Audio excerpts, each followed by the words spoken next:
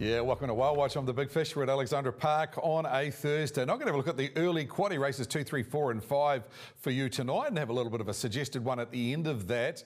Small spin, we'll spend around about $16. The first leg's a really strong maiden race, race number two. Now, we've got a horse that ran third in a group two at its last start and always be a leader. I'll take you to the monitor and have a look at Barry Purdon's train running outside the leader here in a very good field. He's actually taken out by its stablemates, Escape Artist and also Cold Chisel. So Todd Mitchell's parked out. Drew Barry 8 had a horrible run early. Had got round set parked out hits the front at the top of the lane, only to be beaten by the trailer and the horse in the Dennis Thompson colours out wide, an escape artist. Now, put aside, hasn't raced since March, but has had two trials. Crystal drove in both of them, really trialled up nicely the other day. I thought 220 was okay uh, for a two-year-old that was very competitive against our best two-year-olds uh, last time in. The main danger is a horse that's actually on debut, has changed stable, was with the uh, Alan and Wayne Fawcett team, purchased now with Zach Butcher. The horse I'm highlighting is here in the uh, mauve colours, runner number five, about to get to the centre of the track. Now, the horse that's last in this trial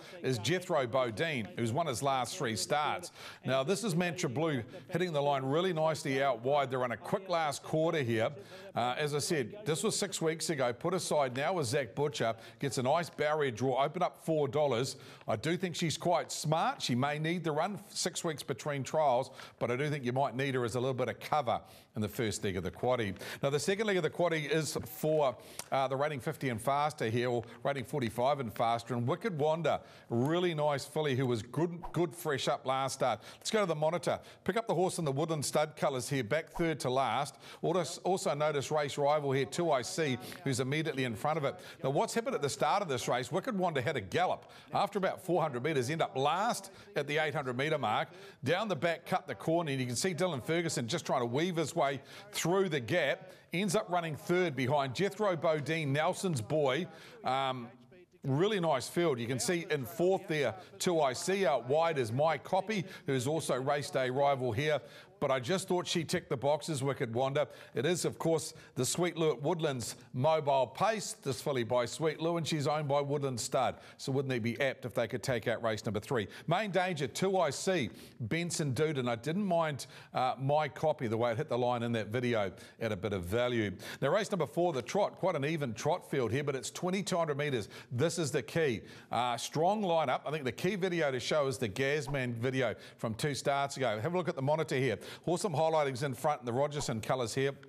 Uh, gets run down late by the horse in the yellow and blue, Springback Mason. But he goes back from 35 to 45 tonight, over 2,200 metres. Man, that's a long way back. No doubting the talent, but he's going to be a long way off them. Notice Liaison in the middle of them there with the yellow cap of David Butcher and King's Landing right down the very outside. Now, all four of these go round in this 2,200 metre race tonight, all chances. If I had to narrow it up, I'd say Gazman and Liaison, but if you want cover, the bottom two even off the big handicap. Let's go to the two-year-old event. Strong field here. Key video to show is the last two-year-old fillies race at the park where Arcatea won and Adore Dreamer went enormous. And so picked them up at the top of the lane. So Arcatea in front, stablemate outside it with Maurice McKendry aboard in Adore Dreamer. Now, Gee, she was good here. She set parked out of door, Dreamer. She's the half to a cooter.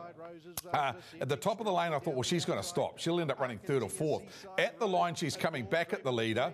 Uh, on the outside of them is the stablemate Seaside Rose.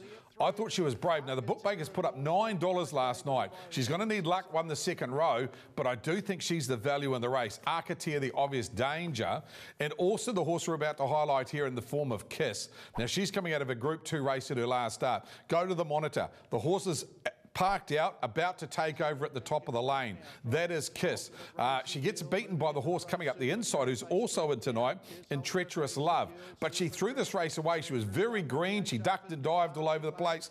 Um, she's had a trial, uh, a quiet trial at Franklin the other day to fit in for tonight.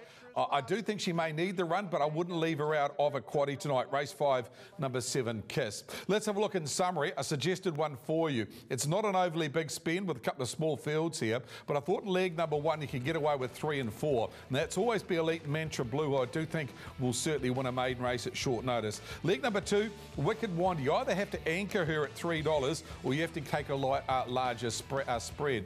The trot, the bottom four, three, four, five, and six. And in the last leg, two, six, seven, and nine. That's $16. 50% of the early quad at the park tonight.